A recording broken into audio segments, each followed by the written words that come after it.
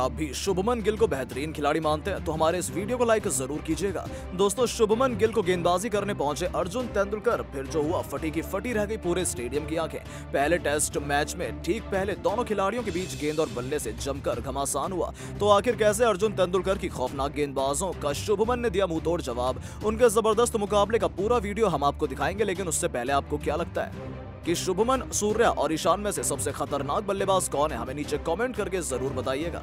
दोस्तों, बहुत जल्दी दुनिया की दो सबसे बड़ी टीमों के बीच रेड बॉल के क्रिकेट की सबसे बड़ी जंग शुरू होने जा रही है, जहाँ एक तरफ़ ऑस्ट्रेलिया भारत में टेस्ट सीरीज़ जीतने का सपना लेकर अपनी तैयारियाँ शुरू कर चुका है तो वहीं दूसरी तरफ़ भारत के लिए वर्ल्ड टेस्ट चैंपियनशिप फाइनल का क्वालिफिकेशन इसी सीरीज़ के ऊपर टिका हुआ है। लगातार दूसरा फाइनल खेलने के लिए भारत को ऑस्ट्रेलिया के ऊपर अपने घर पर बादशाहत को कायम रखने की चुनौती होगी, जबकि दूसरी तरफ़ कंगारू अपने घर पर मिली हार का बदला लेने के लिए कोई कसर छोड़ना नहीं चाहेगी। दोस्तों, इस बार ऑस्ट्रेलिया भारत को टक्कर देने के लिए कई स्पेशल तैयारी करके आ रहा है। उन्होंने भारत आने से पहले सिडनी शहर में स्पिन खेलने की खास तैयारी भी की है और एक मज़बूत साइड के खिलाफ अपनी तैयारियों को पुख्ता करने के लिए हर दाव पेच आजमाने को तैयार है। फ़िलहाल ऑस्ट्रेलिया की टीम बैंगलोर में भारतीय टीम को परास्त करने की रणनीति तैयार कर रही है। उन्होंने एक खास तरह की पिच भी तैयार करवाई है, जिसमें वो स्पिन गेंदबाजों से निपटने के लिए जमकर कड़ा अभ्यास कर रहे हैं। इससे अंदाज़ा लगाया जा सकता है कि ऑस्ट्रेलिया इस बार हिंदुस्तान को पटखनी देने में कोई भी कसर नहीं छोड़ना चाहती है। वहीं भारतीय टीम भी कम नहीं है और 9 फरवरी से शुरू होने वाले पहले टेस्ट मैच से ठीक पहले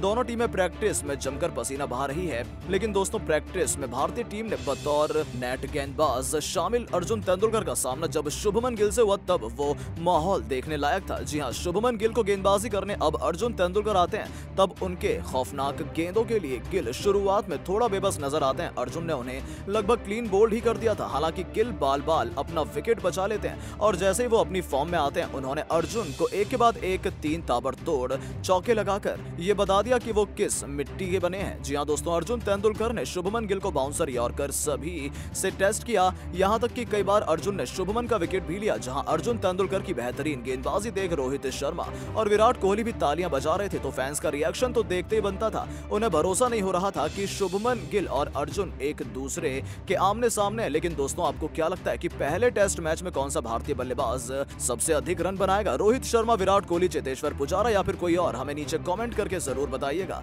और ऐसी शानदार खबरों के लिए चैनल को सब्सक्राइब करना ना भूलें। धन्यवाद।